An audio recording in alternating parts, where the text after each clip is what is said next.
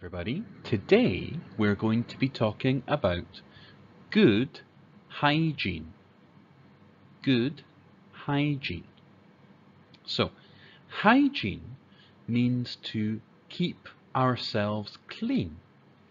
And we have to do that every day. Keeping our body neat and clean is practicing good hygiene. So, good hygiene is keeping yourself neat and clean. And we're going to have a look at why that's very important. So, good hygiene means what's this boy here doing? He's showering. You have to shower every day. Shower every day. Let's spell shower. S H O W E R. Shower. Why is it important to shower every day? Well, if we don't shower, we are smelly. Plus, it's fun to shower. Look how happy the boy is. okay, what's next? What is this boy doing? He is brushing his teeth. You have to brush your teeth. Brush your teeth. Let's spell brush. B U R. Hmm? No, teacher Dave. B R U S H. B R A sh. Brush. Brush your teeth. Let's spell teeth. T E E T H. T E T E teeth. Brush your teeth. so, how many times should you brush your teeth every day?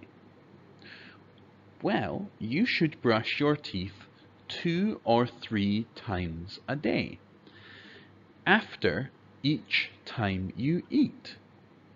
You should brush your teeth in the morning after breakfast. You should brush your teeth in the afternoon, after lunchtime. you should brush your teeth in the evening, after dinner. It's important to brush your teeth. Next, you have to cut your fingernails. Remember we were talking about our fingernails? you have to cut your fingernails. Now, for some of you, your mummy or daddy might cut your fingernails for you so that you don't get hurt. Let's spell cut. C U T. K A T. Cut your fingernails. Next, we have to brush your hair. Brush your hair. Oh, look, that's the brush word again. We brush our teeth and we brush our hair.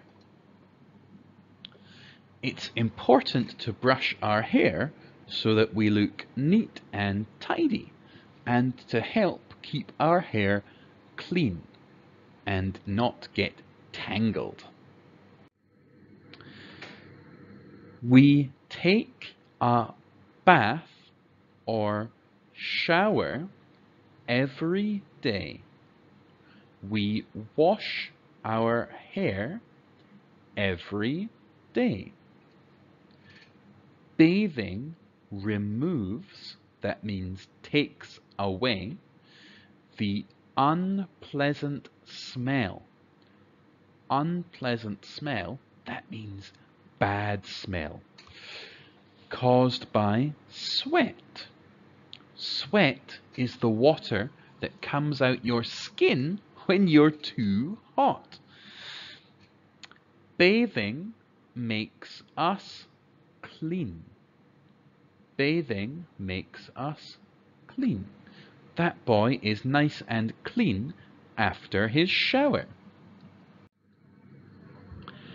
When we bathe, we should wash our body thoroughly. Thoroughly. Thoroughly means very well. We should wash our body very well and make sure we wash all the bits. so this boy, he's washing his body very well. In the next picture, we should clean our armpits. Armpits. Armpit is the bit under your arm, which can get very smelly. and our ears. This boy is cleaning behind his ears.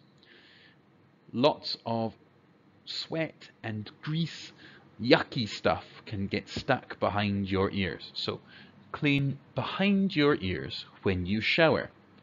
Be careful not to get water in your ear when you are showering. Don't put water in your ear. That's very bad for you. After bathing, we put on clean clothes. Look, they've got lovely clean clothes on. We should wear clean clothes. Let's spell clean. C L E A N. Clean. Clean is the opposite of dirty. EA makes the E sound in clean. Why must we keep our body clean every day?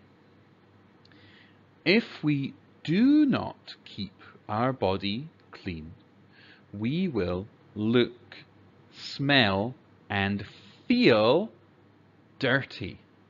So this girl has not kept her body clean and she looks dirty and she smells bad. Other people might not want to be near us if we are dirty. So dirty is the opposite of clean. This boy is dirty, and the other children don't want to be near him. Don't wear dirty clothes. Don't wear dirty clothes. Let's spell dirty. D I R T Y. D E R T E. Dirty. Okay, guys, that's our last hygiene tip. So, make sure you keep yourself clean with good hygiene, and I'll see you next week.